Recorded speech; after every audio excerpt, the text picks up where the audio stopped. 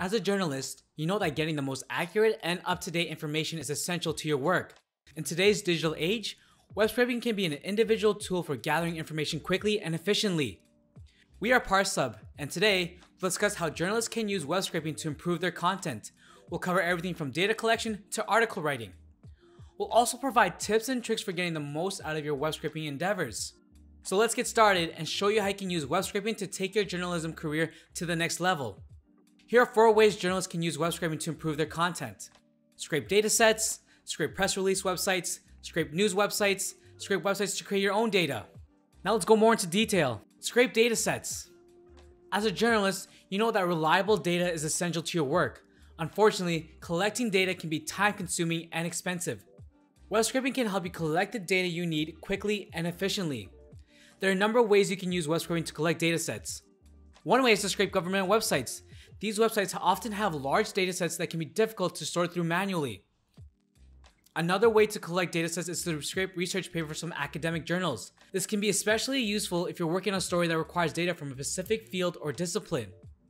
Scrape press release websites.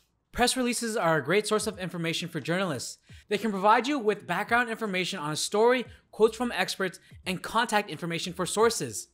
Unfortunately, sorting through press releases can be time consuming. Fortunately, web scraping can help automate this process. There are a number of ways you can use web scraping to scrape press release websites.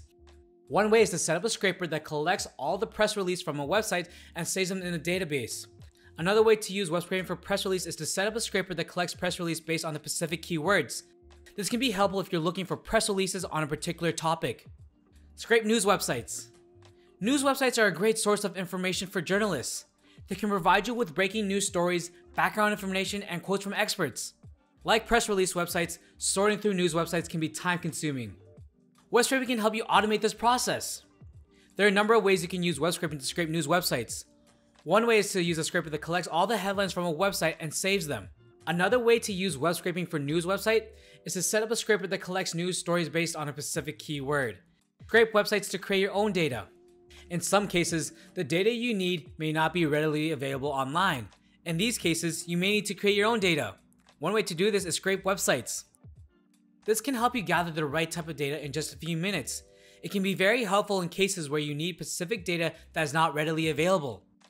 There are a number of ways you can use web scraping to create your own data. One way is to scrape product websites.